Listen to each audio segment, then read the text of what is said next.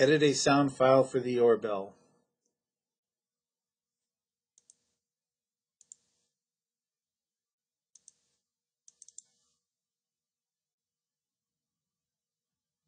Okay, this opens the full-length sound file. As you can see, it's stereo. The YourBell has only one speaker. We want to reduce it to mono. To do this, we need to reset uh, the output levels. We want the new peak ampli amplitude to be minus 6 dB, typically cuts it in half. You can see that about did it. Now we want to go to here and select split stereo to mono. Now we want to take this and export it as an MP3. Under options, you select what qualities you want as far as the bit rate. Here we have 320, which is the max. You want to give it a name that is different than the original so that you don't overwrite the original.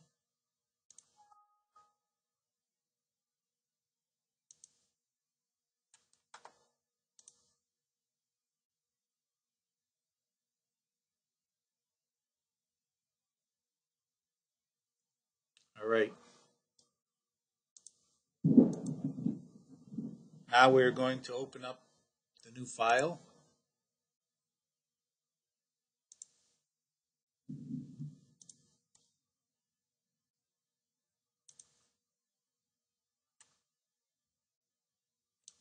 We have achieved what we wanted.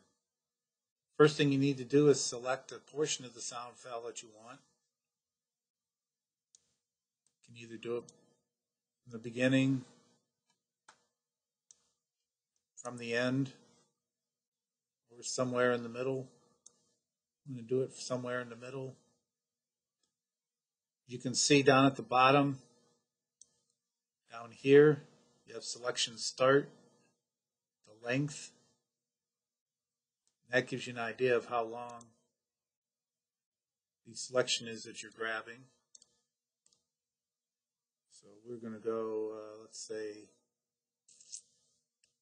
20 seconds or thereabouts. Now to want to trim this, go to trim audio in the toolbar. Now we want to see it spread out, so we go fit selection. First thing we want to do is do a fade in. Typically a fade in can be uh, anywhere from a half a second to a second. So we're grabbing approximately a second here to do the fade in.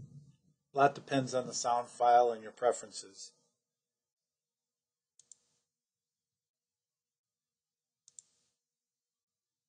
Now we want to do a fade out.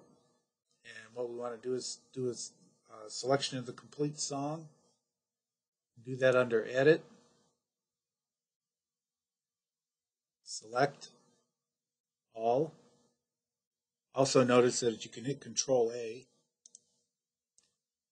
And then grab this guy here, bring him over, and you probably want to do about a one second fade out on the end.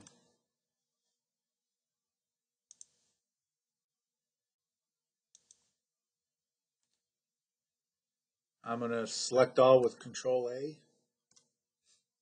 we're going to see about the uh, the output level.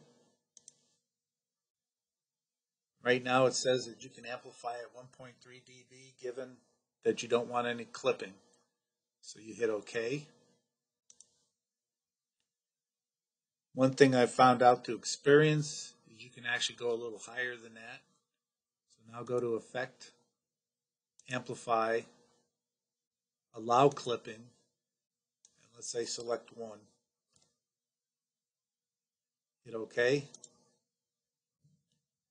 We now have our sound file ready to go. So now you want to take the sound file and export it.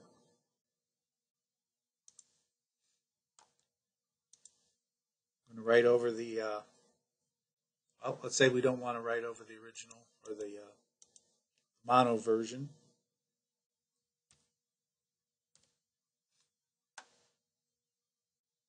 Hit save. Here you can set up uh, ID3 tags if you wish. And that is how you edit a sound file for the YourBell.